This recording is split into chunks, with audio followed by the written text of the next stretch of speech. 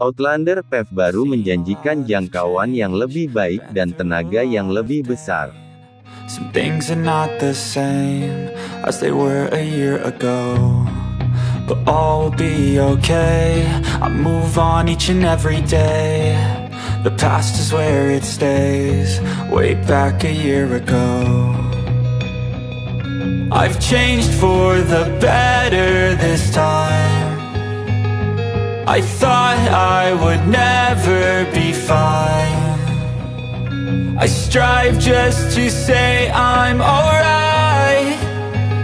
And for the first time in a long time I'm alright. I've seen a lot of change Been through a lot of pain things are not the same As they were a year ago But all will be okay I move on each and every day Semua yang perlu Anda ketahui tentang Mitsubishi Outlander PHEV tepat pada namanya, ini adalah versi bibrida plug-in dari SUV kompak Mitsubishi Outlander.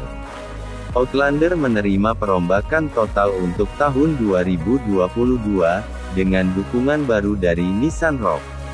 Itu mungkin sedikit tidak masuk akal bagi sebagian orang, tetapi pada kenyataannya, ini berarti bahwa Outlander mendapat manfaat dari peningkatan signifikan rock yang baru-baru ini didesain ulang. It's I'll all going live Still nobody knows, but I'ma choose what's right And take what comes and goes. And ain't no one in life holding me back no more. I've seen a lot of change Been through a lot of pain. Some things are not the same as they were a year ago But all will be okay. I move on each and every day. The past is where it stays Way back a year ago Gaya eksterior dan kualitas interior Outlander juga melampaui apa pun yang telah diproduksi Mitsubishi dalam memori baru-baru ini. Mitsubishi Outlander PHEV 2023 dibangun di atas model yang jauh lebih baik ini dengan menambahkan powertrain yang direvisi ke dalam campuran.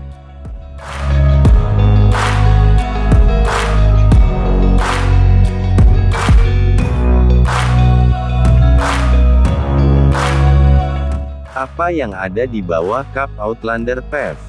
Di bawah kap Outlander PHEV 2023 terdapat versi terbaru dari 2.4 liter naturally aspirated 4 silinder yang ada dalam model saat ini. Mesin itu ditambah dengan dua motor listrik, dengan satu di setiap poros. Mitsubishi mengatakan bahwa output dari motor listrik telah meningkat sebesar 40%, sehingga diharapkan untuk melihat spesifikasi resmi lebih tinggi dari PEV Outlander hari ini, yang menghasilkan 221 tenaga kuda gabungan.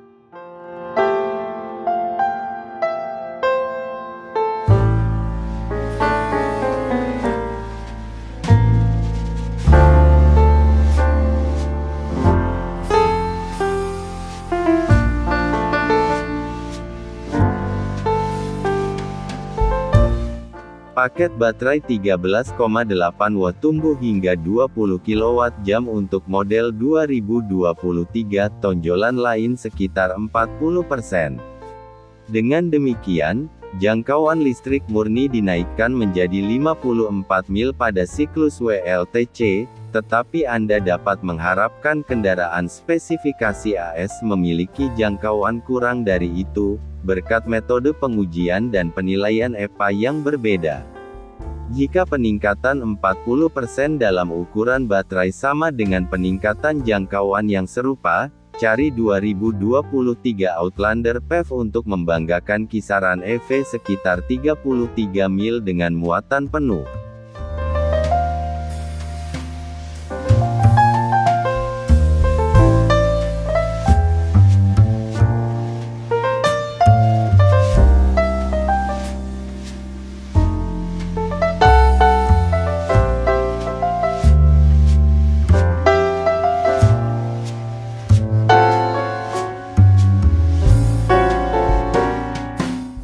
Outlander PHEV juga dilengkapi dengan sistem AWD Super All-Wheel Control Mitsubishi sebagai standar.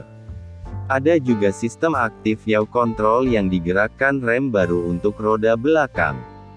Bersama-sama, mereka membagi daya sistem penggerak ke roda dengan cengkeraman paling besar untuk membantu mempertahankan traksi. Sebanyak tujuh mode berkendara dapat dipilih melalui pengontrol di konsol tengah.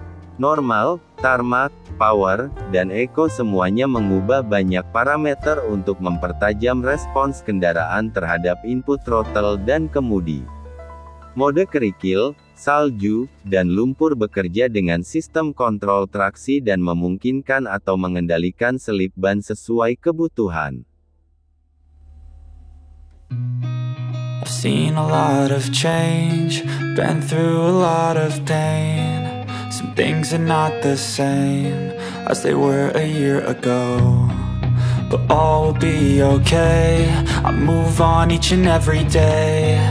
The past is where it stays Way back a year ago. I've changed for the better this time Bagaimana interior Outlander PHEV?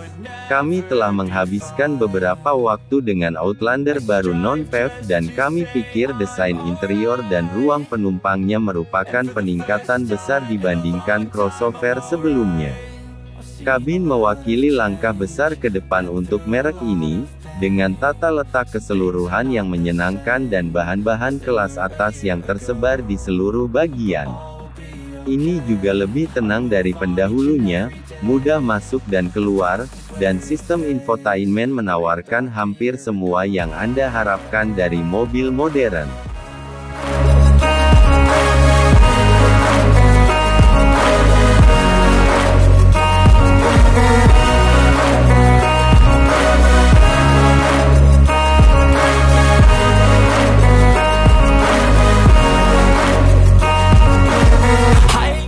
Seberapa irit Outlander PHEV?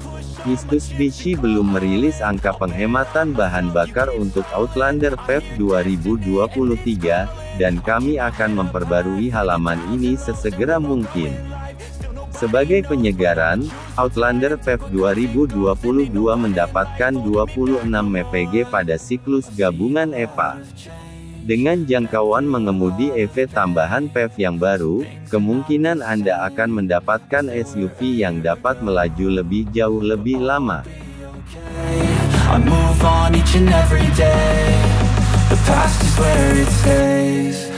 back a year ago